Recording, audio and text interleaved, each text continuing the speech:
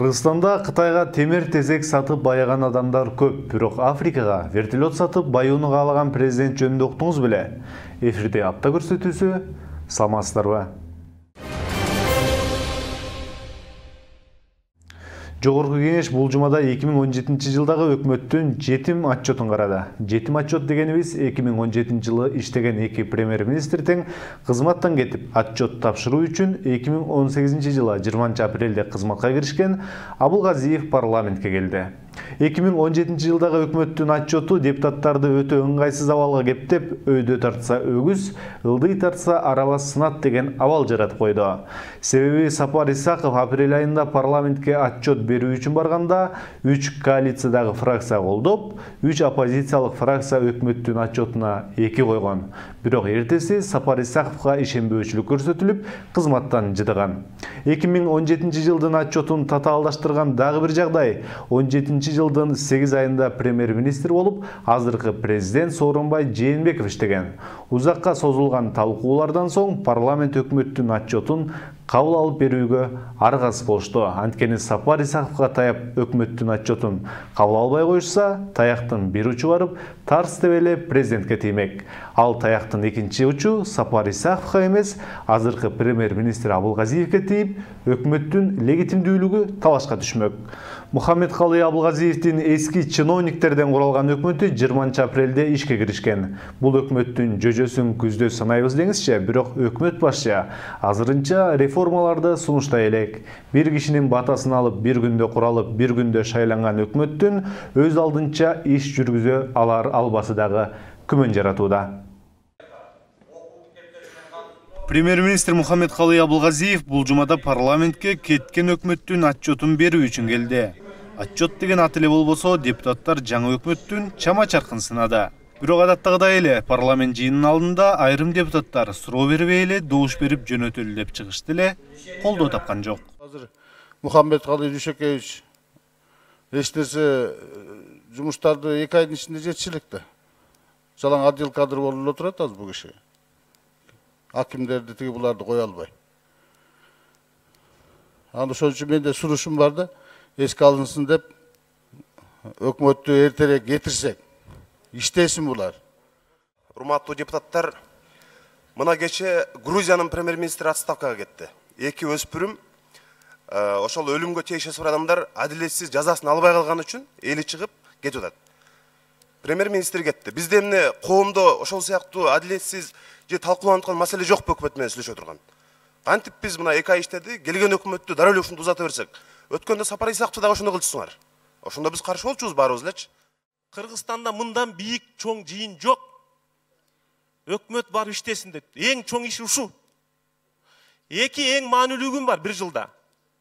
Биринчи өкмөттүн отчетун бекитүү экинчи бюджетти бекитүү бул абылгазиевдин отчету эмес бир жылдагы алты миллион элдин тагдырын отчету биз жакында эле үч фракция азчылык болгон фракция ушул жерде саясий мотив менен кетирген жокпуз сунуш бергенбиз биз экономикалык көрсөткүчкө таянып ушундай сунуш бергенбиз канааттандырылбасын деп баа бериш үчүн ал эми саясий мотивтер ал бул залдын сыртында турат ал айтылбайт жазылбайт белгиленбейт ошол себептен бүгүн эки коюп койсок эчтеке эмес бул абылгазиев кетет деген сөзсүз талап болбойт өкмөттүн ишмердүүлүгүнө эки коюп койсок эчтеке болбойт депутат мыктыбек абдулдаев абылгазиев кеткен премьерлердин отчетун берип жатат деген туура эмес экендигин айтып абылгазиев эки миң он жетинчи жылдын сегиз айында биринчи вице премьер министр болуп иштегендигин эскертти эки миң он жетинчи жылы сиз кыргыз өкмөтүндө сегиз ай биринчи вице премьер болуп иштедиңиз ошол сегиз айга өзүңүз кандай баа бересиз туура муктар юсупович он жетинчи жылдын сегиз айында ушул жанагыдай кызматты аткардым азыркы президентибиз премьер министр болуп иштеди мен ал убактагы иште жасалган иштер сиздер колдоп берген бюджет ошол убактагы азыркы эки миң он жетинчи жылдын жыйынтыгында келип жаткан жакшы көрсөткүчтөргө эң биринчи мындай түрткү болгон негиздердин баары ошол биз иштеген периоддо болду деп ойлойм кыргызстандагы акыркы коррупциялык иштер президенттик аппараттын өкмөттүн ишине ачык эле кийлигишип өкмөттү президенттин аппараты башкарып калгандыгын көрсөткөн. Исаков менен абылгазиев дагы президенттик аппараттын башчысы кызматынан премьер министрликке келишкен. Мындан улам президенттик аппараттын жетегинде кетпей өз алдынча саясат жүргүзө алар албасы жөнүндө дагы суроо берилди эле бирок абылгазиев баары менен иштешүү керек деген жымысалдалган гана жоопту берүү менен чектелди. Экинчиси жана президенттик аппарат менен иштеши боюнча суроо берип атабыз мен ойлойм өкмөт конструктивдүү баардык мамлекеттик бийлик бутактары менен иштеши керек эгерде мамлекеттик кызыкчылыкта чечиле турган маселелер болсо биздин президентибиздин өзүнүн дагы көз карашы ошондой бул жогорку кеңештин аппараты бул президенттин аппараты бул өкмөттүн аппараты деген мамлекеттик деңгээлде бөлүнүп жарылуу болбош керек. Кызыкчылык мамлекеттин иши мамлекеттин өнүгүүсүнө жүрө турган болсо баардык аппарат менен конструктивдүү иштешебиз. Туура эмес болсо иштешпейбиз. Ишенбөөчүлүк көрсөтүлүп кызматтан алынган сапар исаковдун премьер министр катары эң чоң каталарынын бири кумтөр менен өлкө кызыкчылыгына каршы келген келишимге баруусу айтылып келет. Премьер министр абылгазиевке дагы кумтөр эмне болуп жаткандыгы тууралуу суроо көп берилди. Өкмөт башчы сентябрь айында кумтөр боюнча келишим менен келерин айтты. Сүйлөшүү жүрүп атат. Мен пьер скотт менен ошол кумтөрдүн центрдан өзүнүн өкүмү менен сүйлөштүк бир жолу. Ал бияка келди? он биринчи сентябрь эки миң он жетинчи жылы кол коюшуптур стратегиялык келишим деп. Ал жерде бир нече маселелер каралган экология маселеси каралган бизге социалдык жактан жардам берүү маселеси каралган. Анан биз азыркы өкмөттүн көз карашы боюнча аны биз жакшыртышыбыз керек. Биз ага макул эмеспиз. Депутаттар премьер министр ыкчам эмес ыкшоо иштеп жаткандыгын да айтып сындап өтүштү негизи сиз өкмөт башчы катары коомчулук талкуулап аткан маселелерге тезирээк реакция берип турсаңыз өз убагында жакшы болмок да менин да мына өткөндө азыр эле бакыт кемелбекович айтып өттү жанагы саткандар боюнча азаттык абдан жакшы иликтөө кылып коомчулук катуу талкуулады ошого өкмөт башчы катары мына керек болсо жана диний аалым чубак дагы какшап айтып атат бул туура эмес мыйзамсыз. Мусулманчылыкта дагы мындай болбойт депчи. Азыр айыл апага барсаңыз баары талкуулап атат тескерисинче кашкар астаканович сиз жазып алсаңыз ошол иликтөөнү чыгарган журналистке ошол куугунтукту жасап атыптыр телефон чалып баргандай коркутууларды кылыпчы мындай болбойт да биз коррупция менен күрөшүүгө бизге көмөк көрсөтүп аткан адамдарды биз коргоп көбүрөөк мындай муну тез арада тартипке коесуз деген ойдомун да. Анан ошол эле бурулай боюнча дагы. Өкмөт өз убагында мындай билдирүү кылып чукул ушул өкмөт башчы катары сиз бир топ кечиктиңиз да. Ошол убакта ички иштер министрлигинин орун басары каякта эс алып атат анан качан келет? Отпускадан деген нерсени талкуулап отурушат а болбойт да мындай. Мухаммедкалый абылгазиевдин өкмөтү өтө тездикте. Бир күндө куралып бир күндө бекиген өкмөт. Иштегенине эки ай болгон абылгазиев азырынча жарк эткен иши менен көрүнө элек экс премьер министр амангелди муралиев программасыз келген өкмөт өтө чабал иштеп жаткандыгын айтты. Вот азыр эл өкмөттө карап атышат да мындай жардам болобойбу кандайча чечилет? Андай маселелер угулбай жатат да элге маалымат берилбей жатат. Мен ойлоп атам ушул өкмөттүн бир кемчилиги маалымат бериш керек. Кандай динамика болуп атат? Кантип маселе чечилип атат? Эмне үчүн дегенде бул көйгөйлүү маселелер туурабы. Бул маселелерди чечиш керек. Мына мен ойлоп атам күнүмдүк иштерге ушул маселелер кирет а стратегиялык маселелерди аларды эми азыр айтпай эле коеюн анан өкмөт келди программасы жок келди негизинен кандай программасы жок эч кандай программаны жогорку кеңешке да айткан жок өйдө тартса өгүз өлөт ылдый тартса араба сынат дегендей абал түзүлүп калгандыктан депутаттар акыры өкмөттүн эки миң он жетинчи жылдагы отчетун кабыл алып беришти бирок евразия өнүгүү банкы кыргызстандын экономикалык өсүүсү төмөндөйт деген прогнозун жакында эле жарыя кылып кыргызстанды оор экономикалык мезгил күтүп тургандыгын эске алганда азырынча реформаторлук духу көрүнбөй жаткан абылгазиев кыргызстанды алдыда күтүп жаткан экономикалык кыйын күндөрдөн алып өтө алабы же бар жогу билинбеген өкмөт башчы бойдон калабы жакынкы эле айларда билинет.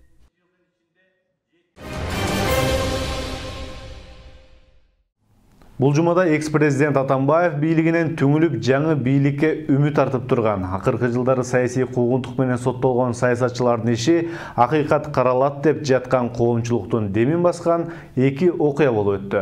Жаңы жетекчиликтүү болгон башкы прокуратура саясатчы Өмүрбек Текебаев менен Дүйшөнкул Чотоновдун ишин кайра кароо үчүн өндүрүшкө алуудан баш тартты. Өмүрбек Текебаев кайсы бийлик үчүн болбосун ыңгайсыз фигура экендиги баарына белгилүү. Чындыкты айтып, катаны көзгө сайып көргөзүп турган саясатчы коррупцияга малынган конституциядан тыш жашагысы келген бийлик үчүн кекиртектеги кылган болору бышык эмеспи бирок акыйкат коом курам адилеттүүлүктү орнотом деген бийлик эң алгачкы ишин текебаевка чыккан өкүмдү кайра кароодон башташы керек эле дешүүдө.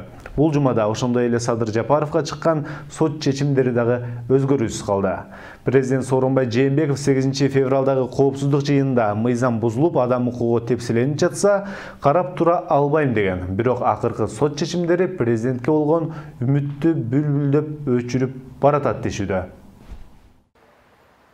башкы прокуратуранын камактагы оппозициячы лидер өмүрбек текебаевдин ишин кайра кароодон баш тартканы текебаев мыйзамсыз камалган ал толук акталып чыгат деп күткөн коомчулукка түшүнүксүз жана жаңы бийликтин сот реформасы тууралуу айткандарына ишеним болбой үмүттөргө суу сепкендей болду айрым саясатчылар прокуратура өзүнүн сабатсыз. Кесипкөй эмес чечими менен өзүнүн эле эмес бийликтин да чоң сокку урду деп айтышууда дагы башкалары бул чечим текебаевди өлкөдөгү акыйкаттык үчүн күрөштүн туусуна айлантты дешет. Баарыбыз күткөн болчубуз. Мынчалык шайланып келгенден кийин ушу абакта турган саясий мамлекетке чоң салым салган адамдарга көңүл бурат. Керек болсо ал деле түшүнүп турат. Сокур эмес көрүп турат. Мыйзамсыз жазалма түрдө соттоп койгонун түшүнүп турат ошо текебаевдин артынан ушу атамбаев деле жээнбектер да бийликке келишти ал ошо революция болуп аткан убакта өмүрбек черкеске окшогон адамдар жок болсо багытын бербесе декреттин редакциясын сунуш кылбаса жаңы конституцияларды сунуш кылбаса шайлоо мыйзамдарын баары тең өзүнүн ошо комитетти чогултуруп ошо ошолордун баарын сунуш кылбаса мындайча айтканда мамлекетибиздин архитектурадан түшкөнгө эң бирден бир адам болбосо булар бийликте да болмок эмес бүгүнкү ал акыбал болмок эмес да бекеринен өмүрбек черкесовди жефферсон кыргызстан жефферсон деп бекер айткан эмес анан ушундай адамдарды ал өз пикири бар адамдарды азыр камакта отурганы бул кыргызстанга бир жакшылык жакшы бир аброй алып келген жок да текебаевдин күнөөсүз камалганы өлкө ичинде гана эмес эл аралык ири уюмдарда чоң резонанс жаратты. Сотун жаш баладан тартып кемпир чалга чейин сериал көргөндөй көрүштү. Сот тармактарда текебаевди колдогон пикирлерди арбын жазышат. Саясатчынын ишин адилеттүү кароодон баш тартуусу бүгүнкү бийликтин коомдук пикирде авторитетин түшүрүп буга чейин айтып келген адилеттүүлүк сот акыйкаттыгы реформа деген сөздөрүн айтпай деле койсо болот. Айткан күндө деле эч ким ишенбейт деп жазышууда текебаев өлкөдөгү акыйкаттык үчүн күрөштүн туусуна айланчудай болуп калды. Кырдаал ошол өңүттү карай жылды окшойт. Текебаевди жок кылам. Биротоло атын өчүрөм деп жатып атамбаев аны таптакырактап көкөлөтүп өйдө көтөрүп таштады. Ага чейин өзү эле айтып жаткан мародер деген айыбын да алып салган. Жалган жалаа менен соттолгон текебаев азыр таза. Ага эч кандай доомат жок. Атамбаев айласы кеткенден улам жалган жалаага такап түрмөгө отургузганына элдин баары көзү жетти миллиондогон долларлардын кайсы чөнтөккө кандайча кирип кеткенин билгенден кийин кептин төркүнү кайда экенин түшүндү жакшы эле. Кайсы жерге барбагын эл чогулган жерде биринчи эле суроо ушул. Текебаев качан акталат? Түрмөдөн качан чыгат? Өлтүрүп коюшпайбы деген. Текебаевди түрмөдөн чыгарбай туруу чечими менен коомдук жана саясий процесстердин агымы башка нукка бурулуп жатканын бийлик түшүндүбү же жокпу аны билбейт экенмин. Бирок жагдай ушундай. Текебаев менен чотоновдун түрмөдө отуруу туурусу кыргызстанда сот акыйкаттыгы барбы же жокпу мыйзамдуулук калыбына келип жатабы же жокпу деген суроолордун аныктагыч белгиси болуп калат. Алар түрмөдө отурганда акыйкаттык мыйзамдуулук калыстык укуктук тартип деген сөздөрдү ким айтса дагы кимдин оозунан чыкса дагы баары бир куру эле сөз ооздун жели. Чындык ушундай. Текебаев кимге жагат кимге жакпайт бул башка кеп. Бирок бул чындык менен эсептешүүгө мажбурбуз. Албетте кыргызстанда күнөөсүз соттолгондор көп. Бирок текебаевдин ишине саясатчылардын символикалык маани берип жатышканы анын кыргыз саясатында өзгөчө орду бар экендигин түшүндүрөт. Текебаевдин түрмөдө отурганы ал дагы эле саясий боек бар экени дагы эле ал жазыксыз бирок чындык үчүн кандайдыр бир өзүнүн мурунку иштеринде көп кишилерге көзгө сая кемчиликтерин көрсөтүп келгендиги үчүн деги эле кумтөр маселеси болобу үзөңгү кууш маселеси болобу конституциядагы принципиалдуулугу жана дагы башка бүт саясий коомдук окуяларда дайыма өзүнүн таза принципиалдуулугун көрсөткөн киши катары өч алуулар болуп жаткандай коомчулукта текебаевдин камактан чыгуусуна бут тосуулар болуп жатат жаңы бийлик аны чыгаруудан эмнегедир коркуп жатат деген пикирлер айтыла баштады бирок кимден коркот эмнеден коркот түшүнүксүз. Эгерде өзүнүн саясий позициясы болуп мыйзамдуулукту орнотом деген ниети болсо текебаевди акташы керек дегендер четтен чыгат. Анткени менен текебаевдин иши жакында бириккен улуттар уюмунда каралып эл аралык ири уюмдун кийлигишүүсү менен акталганы турат. Ал эми убакыт текебаевдин кызыкчылыгында болуп жатканы саясий чөйрөдө да айтылууда.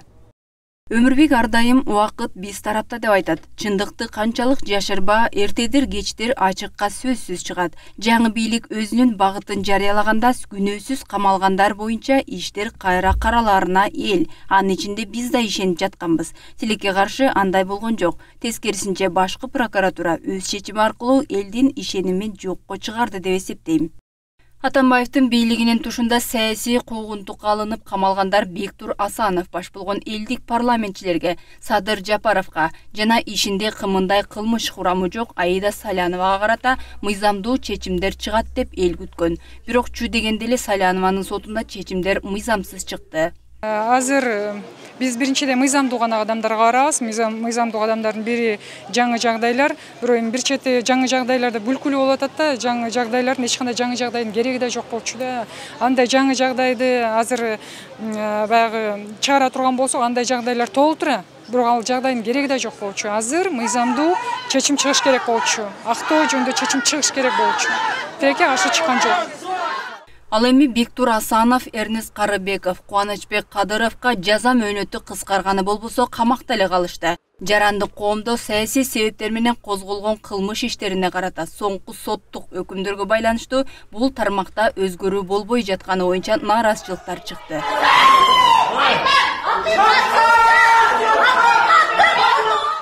садыр жапаровдун ишин жогорку сот жумалап карап эки инстанциянын өкүмдөрүн күчүндө калтырды. Нааразы болгон тарапкерлери жаалданып сотко наалат айтышты. Айрымдары мыйзамдуулук орнотуу жагынан бул бийликти эле жарытпасын билдиришип жээнбековго сын айта башташты өкүмдөрү күчүндө калтырылсын жабырлануучу каптагаевдин көзөмөл тартканусу жана жактоочу токтосуновдун көзөмөл тартканусу канааттандыруусуз калтырылсын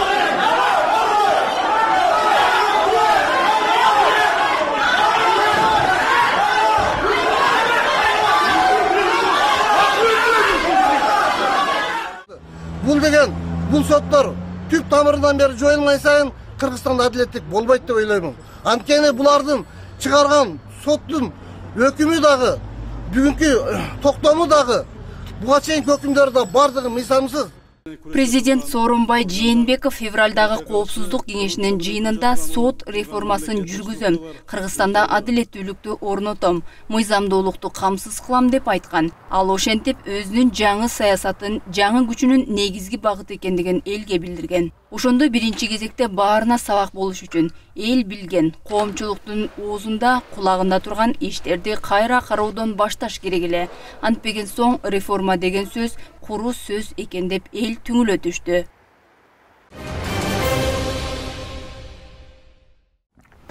бул жумадагы дагы бир чуулгандуу окуя экс президент алмазбек атамбаев менен анын оң колу саналган сапар исаковдун кыргызстандын вертолетторун африкадагы согуш жүрүп жаткан өлкөгө ижарага берүү боюнча аракетинин ачыкталышы болду кызыгы ижарадан түшкөн акча кыргызстанга эмес дубайдагы бир фирманын эсебине түшмөк экен бул маалыматтын чыгышы ансыз деле тец тарых музейи көлдөгү ипподромдогу коррупциялык иштерден шок болуп турган кыргыз элинин жакасын кырматты.